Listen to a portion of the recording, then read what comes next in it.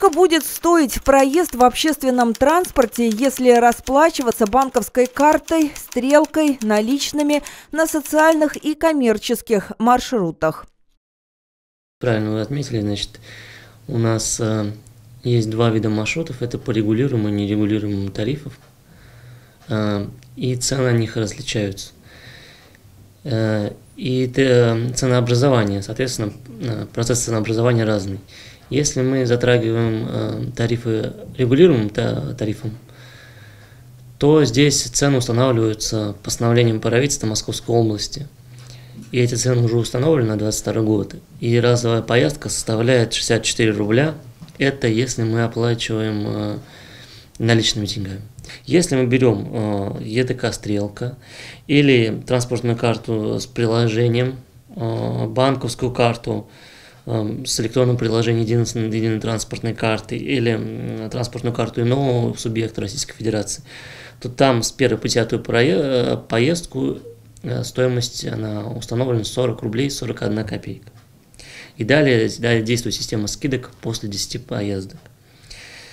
Э, ЕТК учащегося с 1 по 35 поездку будет составлять 20 рублей 21 копейку. С 36 поездки это 40 копеек. Все опубликовано на сайте, и цены, и э, система скидок, это можно ее найти на сайте Минтранса и администрации. А, что касается нерегулируемых маршрутов, это коммерческие маршруты. Тут э, цена устанавливается перевозчиком самостоятельно, исходя из рентабельности. А, и в настоящий момент, сейчас он составляет 55 рублей – и здесь цена наличным и банковской карте не отличается. Сохранено ли за владельцами социальных карт одно льготное место на коммерческих маршрутах?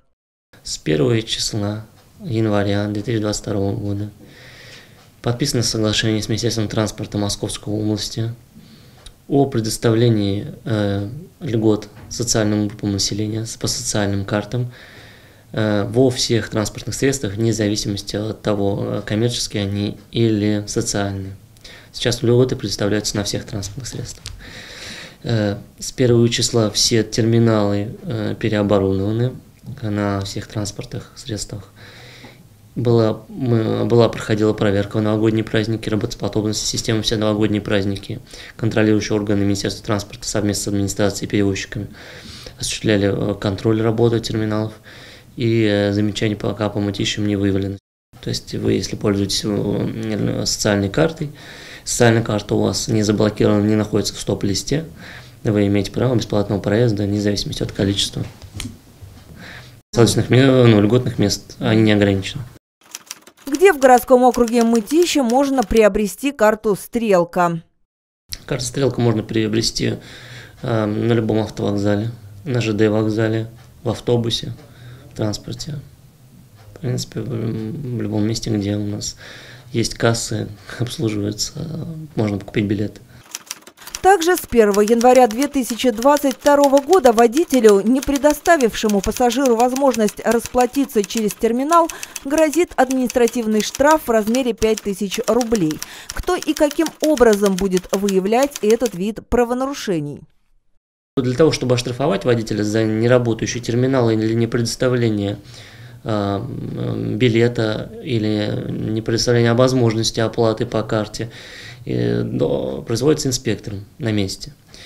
Э, если вы ну, стали жертвой или э, получилась у вас такая ситуация, когда водитель вам отказал в оплате, вы можете воспользоваться либо горячей линией, которая находится в автобусе, размещена в обязательном порядке, в зависимости от принадлежности этого автобуса. Если это межмуниципальный, межрегиональный, это значит будет Министерство транспорта Московской области. Если это муниципальный, это будет администрация управления транспорта. Вы можете обратиться, обязательно пожаловаться с указанием времени, даты, номером автобуса и э, фамилией водителя. Фамилия водителя указывается, она, в принципе, в автобусе в передней части всегда э, должна быть расположена, там либо карточка, либо э, документ какой-то должен быть, э, где вы можете это посмотреть. Первый способ. Второй способ. Вы можете обратиться, сейчас очень интенсивно внедрена и используется система QR-кодов. в автобусах она везде размещена, вы можете по QR-коду оперативно пожаловаться, создать жалобу. Она придет непосредственно в министерство, либо, опять же, управление транспорта Москвы, Мытищ, и будет осмотрена оперативно. Либо обратиться в добродел. В принципе, опять же, с указанием всех тех координат, которые я ранее перечислил. Далее, по, данной, по, каждому, по каждой ситуации э, проводится э, проверка предприятия. Э, в случае выявления факта действительно наличия этого э, нарушения принимаются меры дисциплинарные, вплоть до увольнения э, сотрудника. И э, выездные проверки.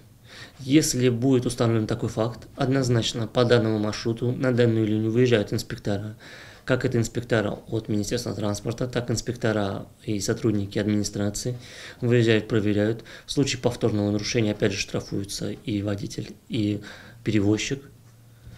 Ну, вплоть до определенных мер и к директору учреждения. И вплоть до, если выявляются неоднократно такие ситуации, могут быть вынесен перевозчик на рабочую группу с последующим принятием решения отзыва лицензии у этого перевозчика, и он просто не будет работать на территории Московской области, просто и все.